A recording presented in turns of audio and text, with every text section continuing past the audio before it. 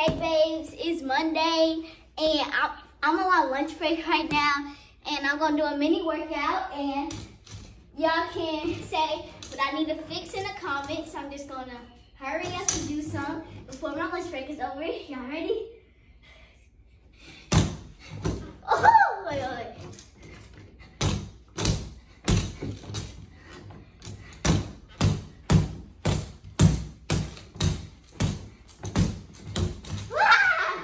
Wait. No.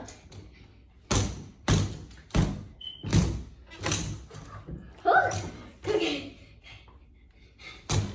Oh my god. Ah! Okay. So, oh my god. It hit me in my arm. So tell me in the comments how y'all think I did. Bye. Make sure you like, subscribe, hit that bell button now. Bye.